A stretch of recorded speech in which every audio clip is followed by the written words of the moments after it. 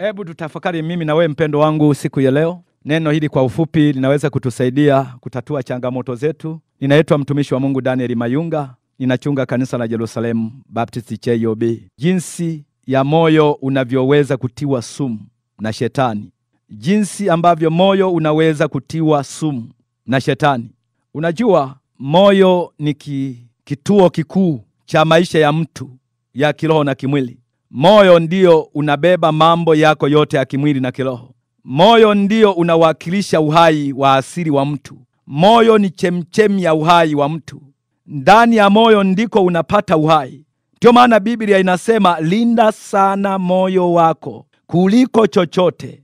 Sehemu nyingine, moyo unawakilisha uamuzi wako au fikra zako. Kwa hiyo ni kitu cha msingi sana kuliko vyote, moyo. Ndiyo maana Misali 4:23 kama nilivyosema, inasema linda moyo wako kuliko yote uyalindayo, maana ndiko zitokako chemchemi za uzima. Na Mungu anaagiza kwamba moyo wako unapaswa kulindwa kuliko kitu chochote.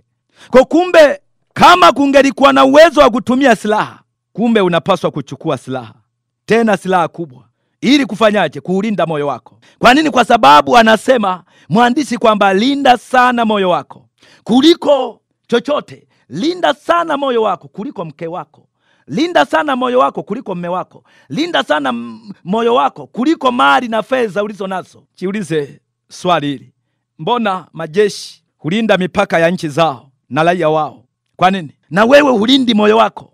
Ninakukumbusha leo, mpendo wangu unapaswa kulinda moyo wako kuliko yote uyalindayo. Kwa nini? Kwa sababu shetani akishatia sumu kwa mtu, unashangaa unamwona mtu anamwambia mtu, hata yule ambaye hana mpango naye, unakuta kijana wa kike anamwambia binti, anamwambia eti ninakukabidhi moyo wangu. We kijana, utamkabizije mtu moyo wako? Sumu hiyo, jinsi gani asivyothamini moyo wake, na hatimaye anapata matatizo makubwa eti kwa sababu anamkabidhi mtu moyo wake. Unamsikia mtu anamwambia mwenzake, kaa hapa nikueleze siri zote za moyo wangu. Huyu anathamini moyo wake kabisa. Huyu Biblia inamtaja Samsoni kwa kosa lake kueleza siri zote za moyo wake, na matokeo yake alitobolewa macho, aliteswa, aliteseka, alikufa kifo kibaya. Kwa nini? Kwa sababu ya yeye kutolinda moyo wake. Kwenye moyo ndiko ambako kuna chemchem za uzima.